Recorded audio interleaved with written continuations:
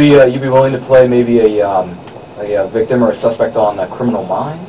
You know, because that that show's been getting a lot of uh, buzz in the last year or so. Mm, yeah, I mean, uh, I, I'm sure. I'll, Would you let the uh, be- behavioral analysis unit, you know, uh, go after you? The BAU, you know, go after you? You know, would you be willing to let that happen? Absolutely, I'll, I, I will take absolutely anything at all. I, I, I've learned to not reject anything. I, I, I've uh, there have been a couple of times where I said, don't know if I really want to do that, and they turn out to be like amazing movies, and it would have been so simple. Like I auditioned for, uh, I see the trailer for Kick-Ass. I auditioned for that. Uh, no, I didn't audition for that. That's the thing. Oh, like uh, okay. months ago, I, I had the opportunity to put myself on tape for it, and uh, it was just like, eh, I don't really, I'm just not feeling it. And now it looks like it's amazing. So I'm not keeping. I hit myself for that. So I learned to not reject any auditions at all. Yeah, because actually, if you were in that movie, you would have been in the movie with Nicolas Cage.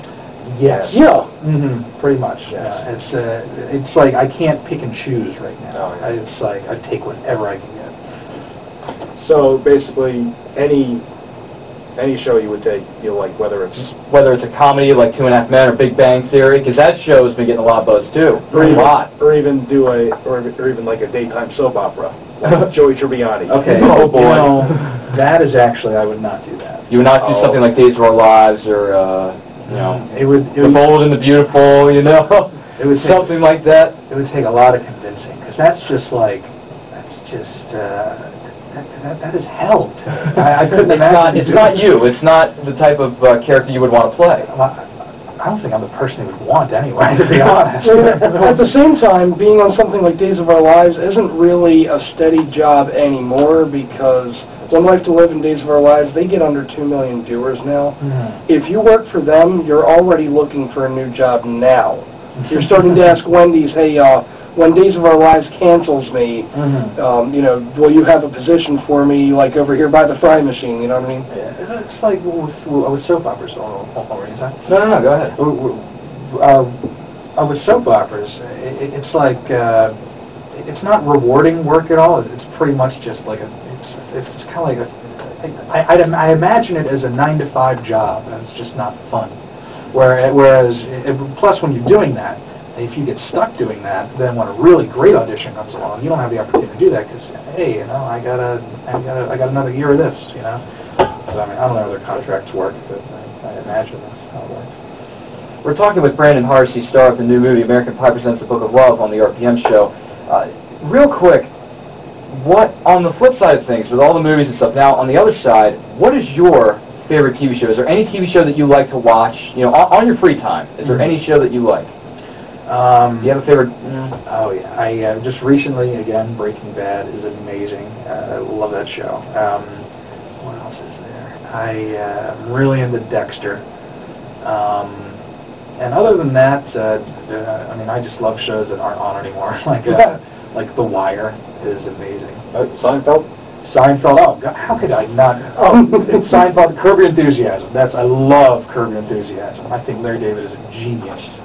Um, uh, I, I got too many to name. I, I think I got uh, Mystery Science Theater 3000. It's one of my favorites. Uh, yeah, I don't know. I, I got too many. I'm gonna keep on rambling I keep going. no, no, that's okay. Now, with the year 2009 well behind us, and now we're in, in the new year 2010, what was what is your favorite movie of 2009? If you had to pick one, or maybe, you know, maybe one or two, what would you think is the top movie of the year in your mind in 2009? Not counting Bart Got a Room and American Pie Book of Right, yeah, not. oh, see, now he can't he can't uh, say those. All right. Um, oh man, I gotta think. I didn't go. To, I didn't go to the movies too much this year. Okay, you know, um, well, I I think Star Trek was amazing. Um, although, okay, did you guys see The Road by any chance? No, but I do No, want to see that. I totally missed that in the theaters. I hear it's phenomenal. I just I wanted to see it, but just never found the time. I'm gonna go ahead and say that is my favorite movie of the year. I'm gonna put my stamp of approval on that because that movie was awesome.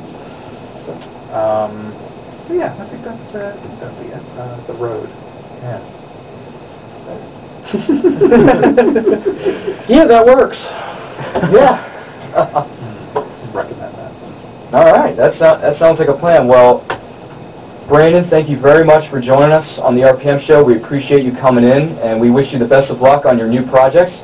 And uh, we hope to see you again soon. We hope to get you in the studio again. Well, thank you very much, Ryan. It was, it was great to be here and see all of you guys again, and, uh, yeah, had a good time. Okay? Right. Thank, thank you very much. Uh, if you have any questions about what's going on in the world of uh, movies, feel free to send Adam an email to adam at therpmshow.com. If you have any questions about what's going on in the world of uh, TV, feel free to send Mike an email. Very simple, mike at therpmshow.com.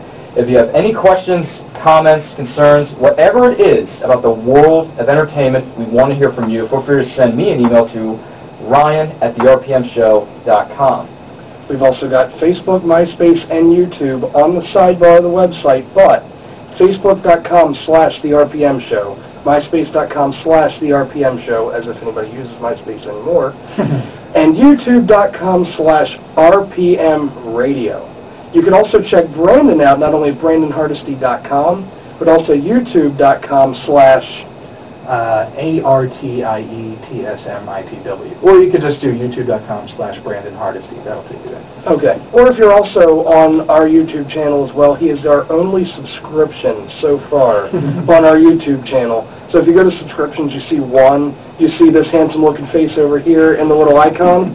Click on that, you'll find him there too. All right, so that that's the best way to contact you is on, or to look for is on YouTube. You have your own website. Uh, don't forget it's brandonhardesty.com. And uh, any any other ways to uh, to find you, or is that or those are the best ones to uh, to use? That, that's pretty much it. That, that is where you find me. Or the LA brothels or something, you know. Of course. Of course. Maybe somewhere there. I don't know. oh God. we, we're we're losing our mind. Especially the last segment, I always do this on the show. That's like my forte at the end of the show is the humor, so. Gosh. Well, This has been an RPM Show exclusive. Uh, Enjoy the rest of your day because you are listening to the RPM Show.